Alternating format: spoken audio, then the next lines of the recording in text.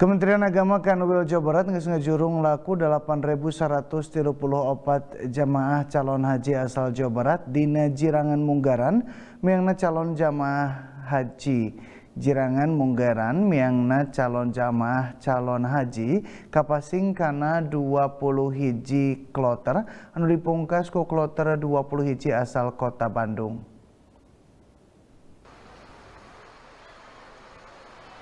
Salila Jirangan Munggaran Miangna Jamaah Calon Haji Asal Jawa Barat Kementerian Agama Kanwil Jawa Barat geus ngajurung laku 8.134 jamaah calon haji. Jirangan Munggaran Miangna Jamaah Calon Haji teh kapasing kana 20 hiji koloter kalawan sakumna kuota haji di Jawa Barat 17.678 tur kapasing kana 44 kloter. Kepala Bidang Penyelenggaraan Haji dan Umroh Kemenag Kanwil Jabar Haji Ahmad Handiman Romdon Ninandeskeun samang sejerangan haji jamaah calon haji anu miang teh dipaju kelawan HD tur lancar. Pihakna bakal mayang memenah sistem pemberangkatan jamaah haji tepi kajirangan kedua pungkas. Alhamdulillah sampai kloter 20 kita sudah memberangkatkan 8.134 jamaah dan secara umum jamaah di Jawa Barat bisa diberangkatkan karena memang sudah kita antisipasi pemeriksaan kesehatan PCR itu dilakukan di kabupaten kota masing-masing. Jadi jamaah yang sudah masuk embarkasi eh, secara umum itu sudah melalui tes kesehatan dan secara umum sudah eh, layak kita berangkatkan. Mungkin evaluasi selama gelombang satu ini ada yang batal berangkat nggak setelah di asrama? Uh, memang selama gelombang satu ini ada beberapa jamaah yang batal kita berangkatkan karena uh, ada beberapa yang setelah diperiksa oleh tim kesehatan embarkasi beliau uh, memiliki penyakit yang belum layak. Jirangan Munggaran jamaah calon haji anu miang dipungkas ku kloter 20 anu mangrupa kloter Munggaran jamaah calon haji asal kota Bandung.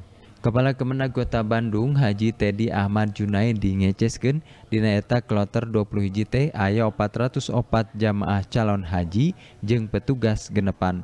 Total pikeun Kota Bandung kuota haji dina tahun kiwari reana 1116 jamaah.